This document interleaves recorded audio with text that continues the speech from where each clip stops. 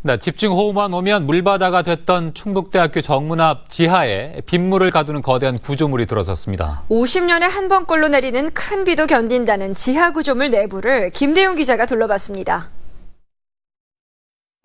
충북대 정문 앞입니다. 땅 아래로 내려가 보니 깊이 8m에 가로 세로 50m 콘크리트 구조물이 나옵니다. 빗물관이 일정 수위를 넘어서면 잠시 보관하다 인근 하천으로 다시 퍼내는 시설입니다. 100억여 원을 들여 1년 4개월 만에 완공했습니다. 우수 처리 시설이 완성됨으로 인해 갖고 어, 두번 다시 이 지역은 이제 그 침수 피해를 받지 않을 것으로. 제가 서 있는 이곳이 거대한 물탱크 역할을 하게 되는데요.